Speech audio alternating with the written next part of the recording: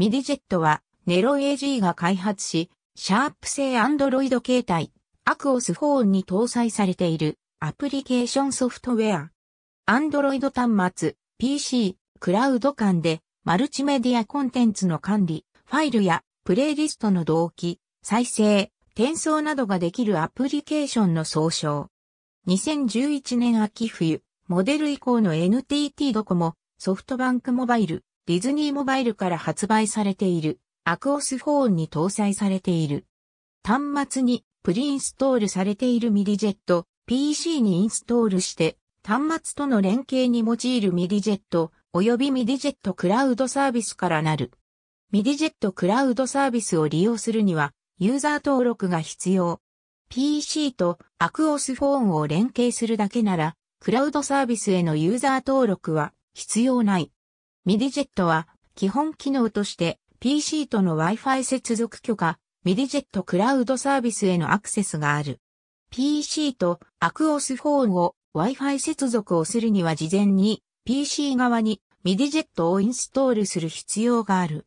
ミディジェットは PC 上の音楽、写真、動画ファイルをライブラリーで管理する AQUOS PHONE との連携に特化したアプリケーションである。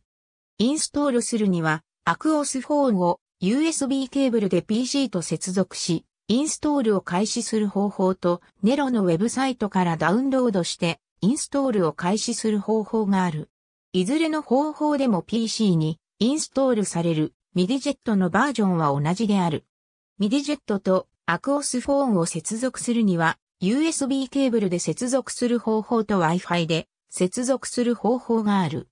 Wi-Fi で接続するには、 AQUOS PHONE にプリインストールされているミディジェットの PC 接続メニューからボタンを ON にすることで PC との接続が完了する。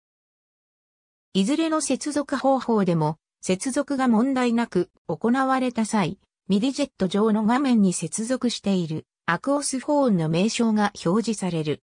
MediaJet は搭載モデルによりアプリケーションショートカットの配置が異なり、端末設定メニューに配置されているなど起動する箇所が異なる。 MediaJet は初回起動時に PC 内のマルチメディアファイルをスキャンしてインデックス化をし、 MediaJet のライブラリーに表示する。任意でフォルダスキャンの範囲を拡張、縮小することは可能。独自のライブラリーではあるが、ファイル自体のコピーやインポートといった作業は必要なく、システム上のフォルダ構造からインデックス化された情報だけを表示するので、ファイルの重複などは起こらない。iTunes や Windows メディアプレイヤーのライブラリーとの連携機能もあり、すでに PC 上で管理しているプレイリストやファイルなどもライブラリー上に表示することができる。